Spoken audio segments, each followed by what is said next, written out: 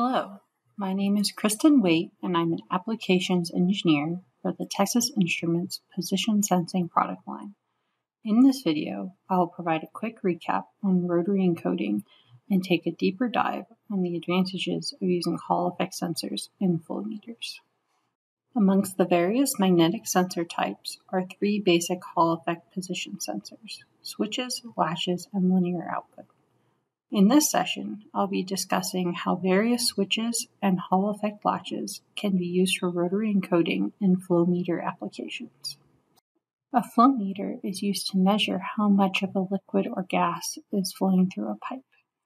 Flow meters are used in many automotive and industrial applications, such as air going into a combustion engine or liquid going into a water treatment plant.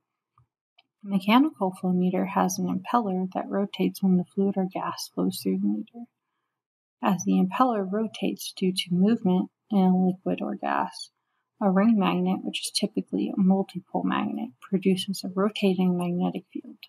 The magnetic field can be measured using our Hall effect latches. The Hall effect latch counts the number of pulses, which is used to determine the speed of the impeller. Rotary encoding is determining speed and direction of angular or linear travel using multipole magnets to determine the resolution of steps.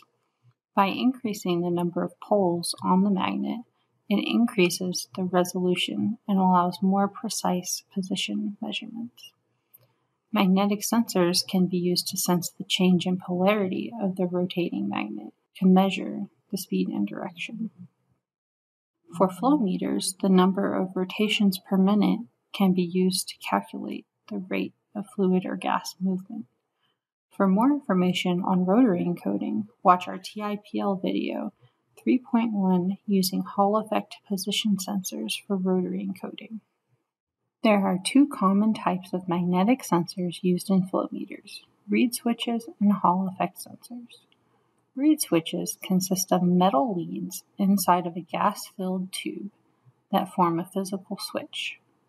When a magnetic field triggers the device, the metal leads touch and complete the circuit to indicate the magnetic field is present. Reed switches are popular because of their low power consumption and low cost, but are not immune to wear, shock, and vibration. Hall effect sensors are an integrated circuit that use Hall elements to detect magnetic fields. These sensors do not require the same electromechanical connection as the reed switch, which make them more reliable and immune to shock and vibration. TI offers standard one dimensional latches as well as highly integrated 2D latches. Our single axis latches offer many features to meet your system's needs, such as low power, high bandwidth, or high sensitivity.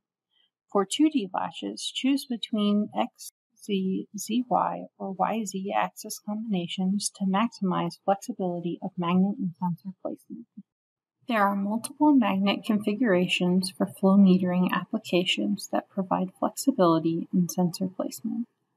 Disc magnets can be used by pressing or gluing them into the impeller of the flow meter, but are more challenging to install because you have to ensure that the poles are alternating. The disc magnets can be positioned vertically or horizontally based on the axis of sensitivity of the chosen Hall sensor.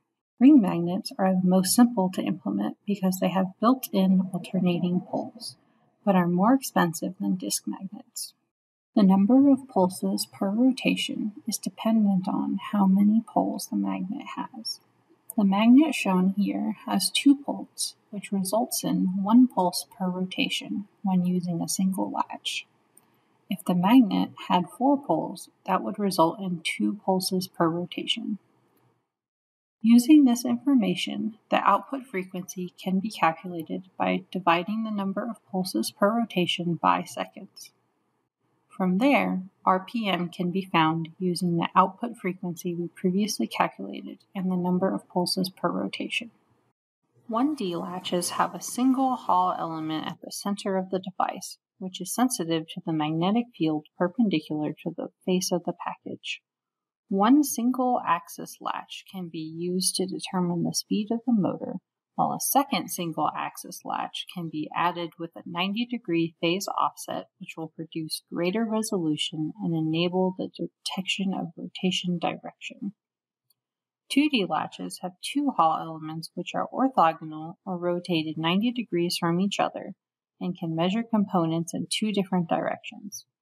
This eliminates the need for a second latch and allows a single device to measure speed and direction. TI offers 2D Hall latches in addition to standard one-dimensional latches. Among these are the TMAG 5110 and 5111.